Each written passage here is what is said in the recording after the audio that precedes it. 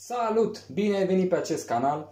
În video de astăzi o să-ți prezint cum să faci un smoothie cu banane și fructe de pădure. Și în aceste fructe de pădure te rog să urmărești videoul cu uh, pachetul de la Kaufland cu fructe de pădure pe care uh, l-am prezentat. Aici avem mure, avem coacăze negre, coacăze roșii și zmeura. Ok. Uh, mie îmi place foarte mult smoothie-ul acesta și uh, o să-ți arăt cum îl prepar eu. Sper că îți va fi util. Uh, poți folosi banane după preferință, mai coapte, eu prefer mai coapte, mie îmi plac bananele mai coapte, sau poți să folosești și banane mai verzi. Gustul diferă în funcție de cât de coapte sunt bananele. Ok, și avem aici lapte de la Lidl, nu fac reclamă, stai liniștit. Uh, eu folosesc produsele de la Lidl. Uh, avem fructele de pădure și hai să tăiem bananele. Pentru a tăia bananele folosesc acest cuțit uh, de ceramică. Mie îmi plac foarte mult cuțitele de ceramică, care are o protecție și este un cuțit cu lamă scurtă. Ok, tăiem capetele bananei. Și uh, eu prefer să spăl bananele înainte, chiar dacă poate cei de la magazin le-au curățat, nu știi câți au pus mâna pe ele înainte să le iei tu și așa că mai bine spală nu te încrede cum am zis eu un pic mai coaptă. să dau cojile într-o parte. Așa și apoi tăiem banana. De ce nu pun direct? Pentru că e posibil să, mic, să se blocheze în uh, blender. Dacă o bagi direct așa și nu vrei asta. Asta e recipientul pentru uh, smoothie. Produsul pe care eu îl folosesc pentru smoothie este de la Russell Hobbs. Russell Hobbs, uitați la acesta. Dacă vă interesează pot să fac o prezentare îl am de ceva timp și uh, pot să-mi dau cu părerea cu privire la el.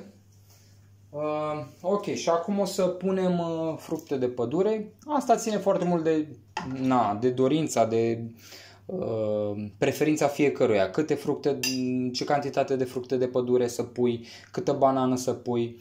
Cu cât pui mai multă, banana e o textură mai, uh, mai faină, mai uh, legată, cu cât pui mai puțină banană, atunci textura e un pic mai apoasă. Uh, eu pun două banane, cum am zis. Haideți să punem și fructele acestea de pădure, care îi dau uh, smoothie-ului o culoare foarte frumoasă, așa, rozalie spre mov. Funcție de, și de textura, de compoziția fructelor de pădure, cât de ce cantitate de coacăze ai. Pentru asta te rog să vezi filmulețul cu prezentarea, să vezi cam ce cantități sunt în pachetul folosit de mine. Bun, și acum punem lapte. Adăugăm lapte, tot așa după preferință. Ia uitați, deja începe să prindă culoare de la fructele de pădure. Un pic un mov așa. e interesant. Bun.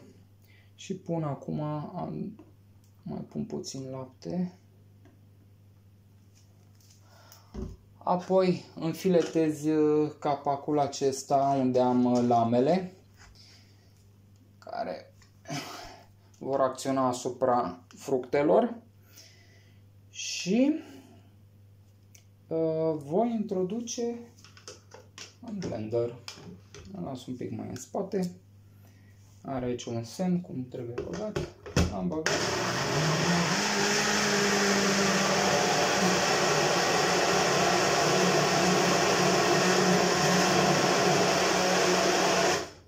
Foarte simplu. Am lăsat un pic să acționeze, nu trebuie foarte mult. Cam așa arată. O culoare superbă. Wow, deja uh, vreau să-l gust. mai am răbdare. Haideți să-l pun în, în pahar să vedeți cum arată. Uitați. Aceasta e textura. Nu e foarte, uh, cum să zic, solidă textura, nici foarte lichidă. Acesta e paharul. ce să zic, poftă bună, eu o să gust din el acum. Mm.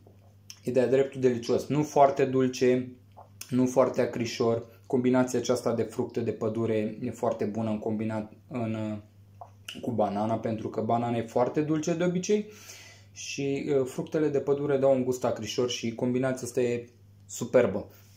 Ți-o recomand, încearcă lucrul acesta și sper că ți-a plăcut acest video, sper că a fost util. De aceea te încurajez să dai like, te încurajez să dai un share, poate să împărtășești cu prietenii tăi sau uh, dacă nu te-ai abonat, te rog să te abonezi pentru a susține acest canal și ca să postez mai multe uh, filmulețe utile. Te salut! Numai bine!